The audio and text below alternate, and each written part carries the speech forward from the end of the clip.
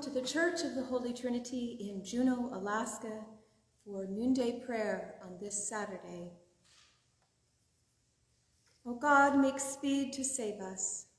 O Lord, make haste to help us. Glory to the Father, and to the Son, and to the Holy Spirit, as it was in the beginning, is now, and will be forever. Amen. Alleluia. To you I lift up my eyes, to you enthroned in the heavens. As the eyes of a servant look to the hand of their masters, and the eyes of a maid to the hand of her mistress, so our eyes look to the Lord our God, until he show us his mercy. Have mercy upon us, O Lord, have mercy, for we have had more than enough of contempt. Too much of the scorn of the indolent rich, and of the derision of the proud.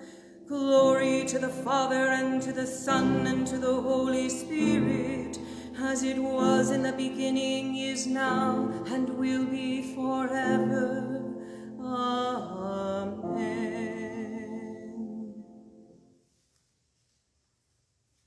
first reading today is from the book of Revelation.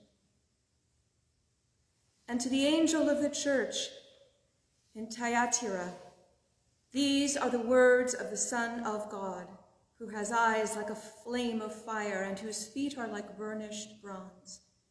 I know your works, your love, faith, service, and patient endurance. I know that your last works are greater than your first. But I have this against you. You tolerate that woman Jezebel, who calls herself a prophet and is teaching and beguiling my servants to practice fornication to eat food sacrificed to idols. I gave her time to repent, but she refuses to repent of her fornication. Beware, I am throwing her on a bed, and those who commit adultery with her I am throwing into great distress, unless they repent of her doings. And I will strike her children dead, and all the churches will know that I am the one who searches minds and hearts, and I will give to each of you as your works deserve. But to the rest of you in Thyatira, who do not hold this teaching, who have not learned what some call the deep things of Satan, to you I say, I do not lay on you any other burden. Only hold fast to what you have until I come. To everyone who conquers and continues to do my works to the end, I will give authority over the nations to rule them with an iron rod. As even when clay pots are shattered, even as I also received authority from my Father. To the one who conquers, I will also give the morning star. Let anyone who has an ear to listen to what the Spirit is saying to the churches. Hear what the Spirit is saying to God's people. Thanks be to God. Lord, have mercy. Christ have mercy. Lord, have mercy. Our Father, which art in heaven, hallowed be thy name. Thy kingdom come, thy will be done, on earth as it is in heaven. Give us this day our daily bread, and forgive us our trespasses, as we forgive those that trespass against us. And lead us not into temptation, but deliver us from evil. For thine is the kingdom, the power, and the glory, forever and ever. Amen. Lord, hear our prayer, and let our cry come to you. Let us pray.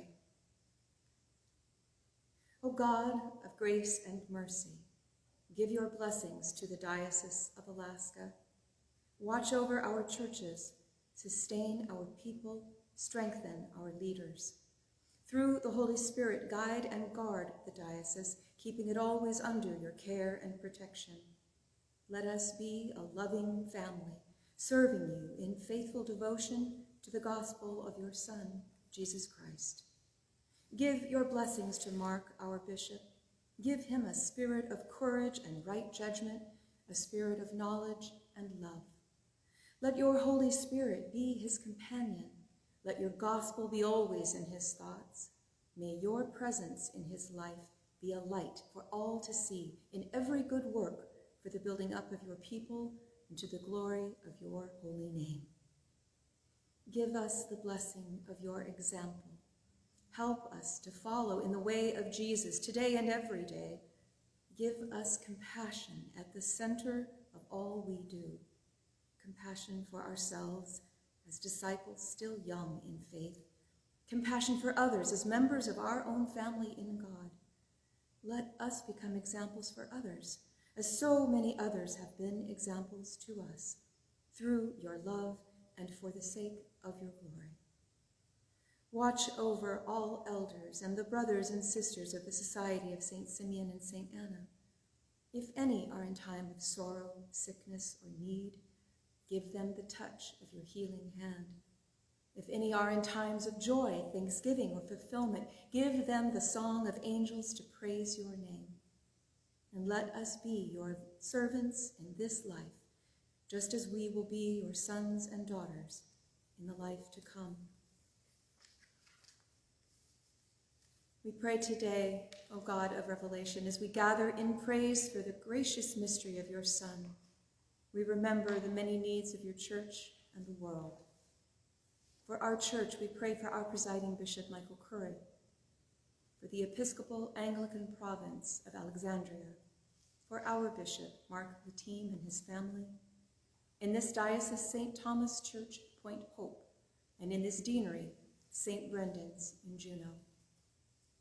We pray for those in leadership positions, especially our president, president-elect, our governor, our mayor, and all elected officials as they make difficult decisions in the days ahead.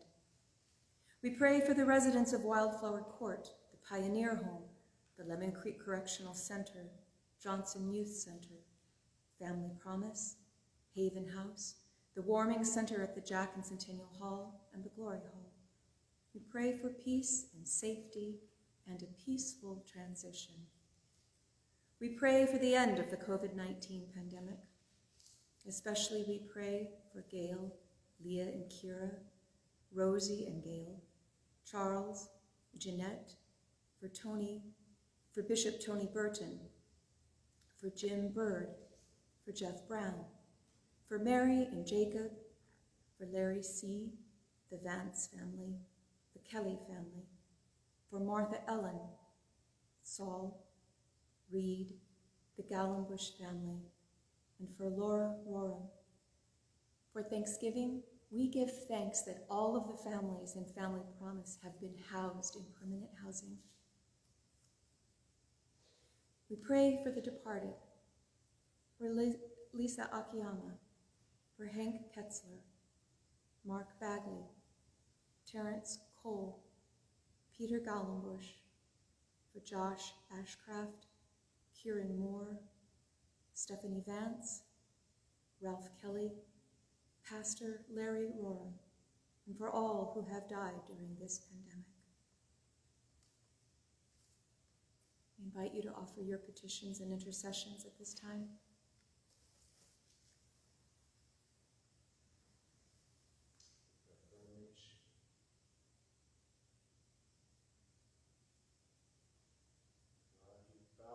together a common life. Help us in the midst of our struggles with justice and truth to confront one another without hatred or bitterness, and to work together with mutual forbearance and respect. Through Jesus Christ our Lord. Amen. Guide us on the path of salvation and reconciliation, O God that the radiance of power of your Holy Spirit working in the world will gather together all peoples and all nations in one community to offer you worship and proclaim your splendor. Amen.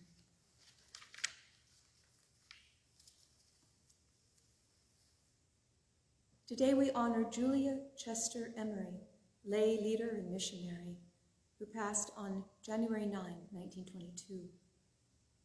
God of all creation, who calls us to make disciples of all nations and proclaim your mercy and love, grant that we, after the example of your servant Julia Chester Emery, might have vision and courage in proclaiming the gospel to the ends of the earth through Jesus Christ, our light and our salvation, who lives and reigns with you and the Holy Spirit, one God, forever and ever.